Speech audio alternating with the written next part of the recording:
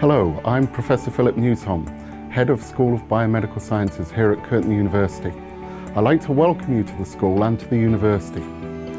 We aspire to graduate biomedical scientists and oral health therapists of international standing and recognition who are career ready.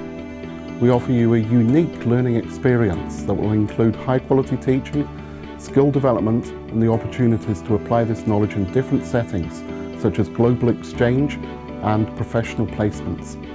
We offer courses in human biology preclinical, laboratory medicine, molecular genetics and biotechnology and oral health therapy.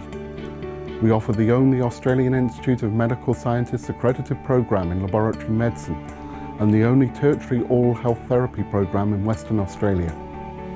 Our postgraduate courses include a master and doctoral degree by research as well as a coursework professional master degree in biomedical sciences.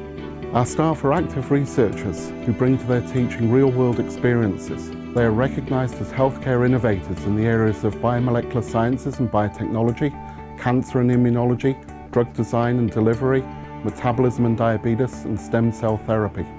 We have recently been awarded a number of prestigious research grants for groundbreaking research, which include national and state grant funding for improving diabetes treatment, boosting immunity in the elderly in order to fight cancer cells, and development of more effective vaccines.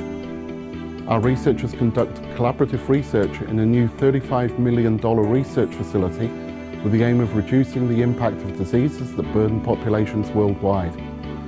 The innovative facilities include equipment for cell purification, sorting and imaging, computational chemistry, drug discovery, gene sequencing and protein analysis.